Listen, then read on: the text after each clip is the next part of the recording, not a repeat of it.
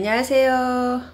pretty님들, 우리 어여쁜 pretty님들, 네, 사랑합니다. 감사합니다.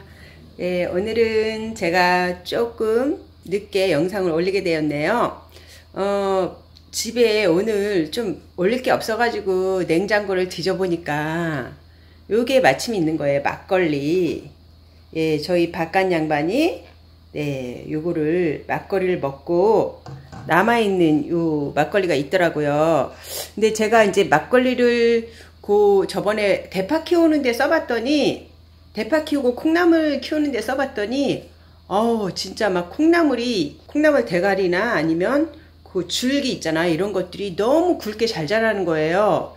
물론 이제 저는 그때 쌀뜨물하고 같이 줬는데 이 막걸리가 어, 원료가 쌀이잖아요. 밥. 쌀뜨물과 거의 뭐 비슷한 성분이지만 요거는 이제 쌀뜨물은 그 쌀에 물을 가지고 씻은 물을 가지고 하는 거지만 요거는 밥을 완전히 삭혀 가지고 이렇게 해서 만드는 거라 펄펙트한 영양을 가지고 있습니다. 이 막걸리에는 인산과 칼륨과 어, 질소가 다 들어있어요. 여러분 아시다시피 P는 인산이고 N은 질소고 K는 칼륨입니다. 질소, 어, 인산, 칼륨은 우리 식물이 뼈나 줄기나 뭐 꽃을 피우는 데 있어서 아주 많은 음, 영양소를 가지고 있죠. 그런 역할을 하는 그런 음, 원소예요. 그래서 이, 이 막걸리에는 질소와 인산과 칼륨이 엄청 많이 들어있기 때문에 음, 요 막걸리로 저희가 뭐 지난번에도 요거를 뭐 대파 키울 때도 써보고 콩나물 키울 때도 써봤듯이 참으로 많은 영양가를 가지고 있는 것 같아요. 그래서 제가 남아있는 막걸리로 제 막걸리 영양제를 한번 만들어 보려고 해요. 그래서 막걸리 영양제는 음, 별로 뭐 들어가는 게 없어요. 이거 설탕 있잖아요. 설탕 한 컵하고 지금부터 한번 만들어 보겠습니다. 막걸리 예, 영양제. 요거는 이제 식물에 줘도 되고 다육이한테 줘도 돼요. 근데 줄 때는 꼭 희석해서 주셔야 됩니다. 일단 이걸 만들고 희석하는 방법도 알려드리겠습니다. 설탕과 그 이 막걸리가 1대2로 들어가야 돼요. 일단은 설탕 한 컵을 넣습니다. 네, 설탕, 설탕 한 컵을 넣고요. 그 다음에 막걸리 두 컵을 넣어줘요. 막걸리가 남아있는 거라 두 컵이 있을지 모르겠지만 두 컵이 되기를 바라봅니다. 네. 야, 딱 두 컵이 남았네요. 어머나, 두 컵하고 조금 남았어요. 네, 어쩜 이렇게 딱 알맞게 남겨놨을까요? 우리 바깥 양반이 아주 이럴 때는 막걸리 마, 먹을 때는 조금 밉지만 이렇게 조금씩 남겨놓을 때는 제가 이 막걸리를 가지고 어, 이렇게 영양제를 만들었으니 얼마나 좋겠습니까? 네, 요거를 이렇게 딱 두 컵을 남겨놨어요. 여기 조금 남았네요. 요것도 이렇게 조금 남은 것도요. 물을 타서 식물에 주면은 진짜 좋습니다. 저도 지난번에 콩나물 키울 때요. 요거를 이렇게 물을 타서 준 거거든요. 근데 어쩜 콩나물이 그렇게 굵게 아주 싱싱하게 잘 자랐는지 모릅니다. 그래서 이렇게 막걸리를 이렇게 설탕 한 컵과 어, 막걸리 두 컵으로 이렇게 만들었어요. 그 다음에 이거는 또 이렇게 섞이도록 저어, 저어줘야 되겠죠? 깨끗한 나무 숟가락으로 이렇게 저어줘요.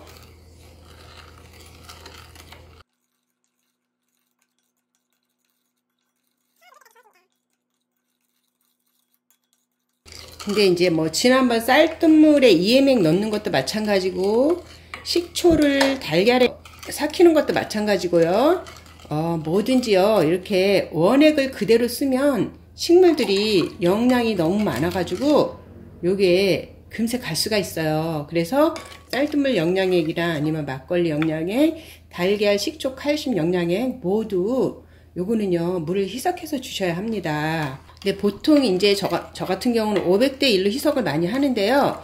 요즘 겨울에는요 이제 여름에는 한 500대 1로 해주시면 좋고요. 겨울에는요 50대 1로 하셔도 됩니다. 물을 50, 요거를 1 이렇게 해서 이제 이게 만약에 500ml잖아요. 그러면 여기 한 10ml, 10ml 정도에다가 500ml 요 정도를 주시면 됩니다. 요거를 섞어 가지고 어, 다육이나 아니면 식물에 주시면 됩니다. 제가 식물에 주는 거하고 다육이에 주는 거를 한번 보여드리겠습니다. 잘 섞였잖아요. 설탕이 완전히 녹아야 됩니다.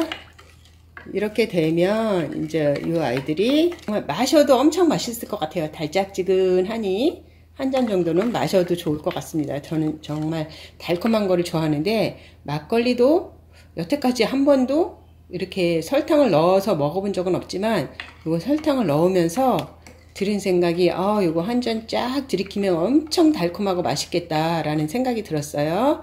네. 그래서 요거를 10ml 정도 10ml면은 요거에 50대 1 정도 되거든요. 50ml에 네, 10분의 1 정도. 요 정도 담아 가지고요. 물을 여기 500ml 여기다가 담아 오겠습니다. 네, 정수기 물로 다 담아 올게요.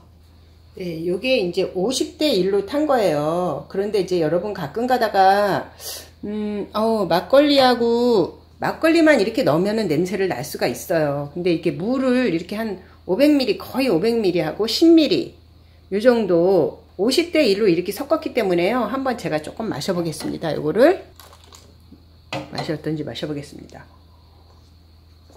네, 이거는 50대 1로 사, 탔는데 거의 막걸리 맛이 거의 안 나요.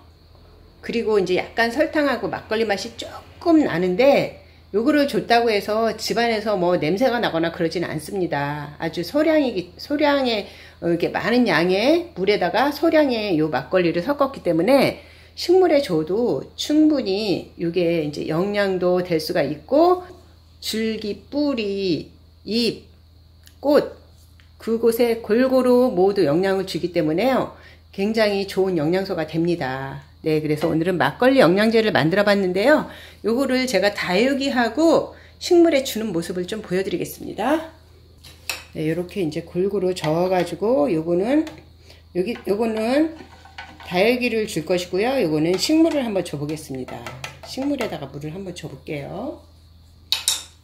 제가 어, 요즘에 스파트 필름 좀 어, 물을 조금 안 줬더니 며칠 좀 등한시했더니 벌써 이렇게 막 아니 요게 잎이 막 축 늘어졌어요. 이런 아이들은 그냥 물만 주면 금세 살아나긴 하는데 제가 오늘은 이렇게 막걸리 물을 줘보겠습니다. 스파트 필름인데 요거는 약간 음, 유전자 변형을 시켜서 어, 만든 그런 색깔이 조금 다른 그런 유전자 변형의 그런 스파트 필름인데요.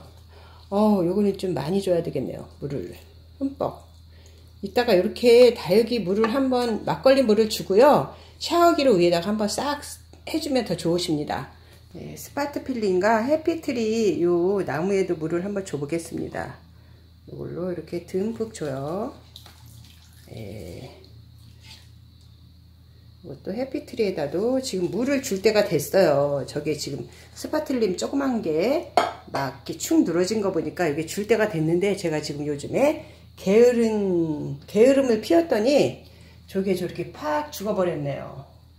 네, 스파트 필름 이제 조금 있으면 살아날 겁니다. 제가 물을 한 번 더, 요렇게 이제, 어, 요런 아이들이 좀 축축 늘어진 아이들은요, 조금 더 영양을 주고, 그리고 물을 이렇게 흘러내릴 때까지 한번 쭉 주시면 좋습니다. 그리고 저는 다육이한테도 요게 제가 이제 쌀뜨물을 다육이한테 많이 줘봤잖아요. 근데 이거는 뭐 쌀뜨물보다 더 영양이 있는 거니까 이것도 한번 이렇게 요즘에는 많이 주면 안 되잖아요. 다육이도 이렇게 3분의 30% 정도 한번 줘봅니다.